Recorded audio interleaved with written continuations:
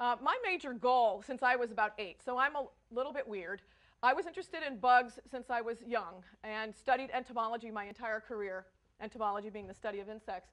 And I grew up in a family that was uh, organic gardeners on 40 acres in Connecticut, very green family. My father was an energy efficiency expert, and my mother's a master gardener who does everything organic.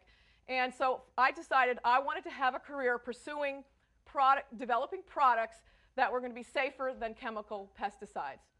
And I started uh, my career from graduate school getting a PhD in entomology and then went to, right out of graduate school, to Monsanto Company.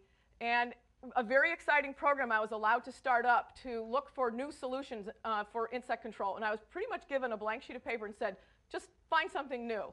And had a really good time there for seven years, but Monsanto ultimately decided they wanted, wanted to pursue genetically engineered plants.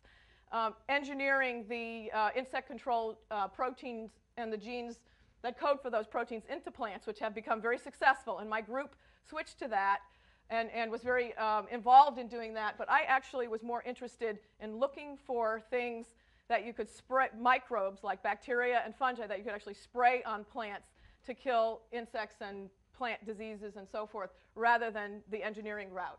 So I got a call from a Danish company called Novo Nordisk, and they said, well, we'd like you to start up a company somewhere in, in the US.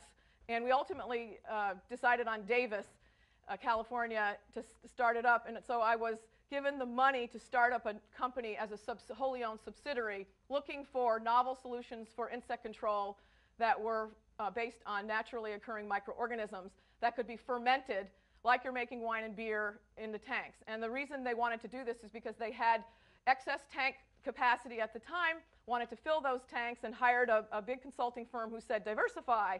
And uh, so they wanted to get into all these new businesses, of which we were one. And um, so we started up a program looking for naturally occurring microorganisms that you could ferment, that you could spray out as pesticides. And after five years, they, hired a, uh, they were having some real problems in their core businesses in that they actually um, uh, they didn't anticipate that they were going to have a tank shortage after five, and so they couldn't, didn't have enough tanks to meet their main core businesses of industrial enzymes.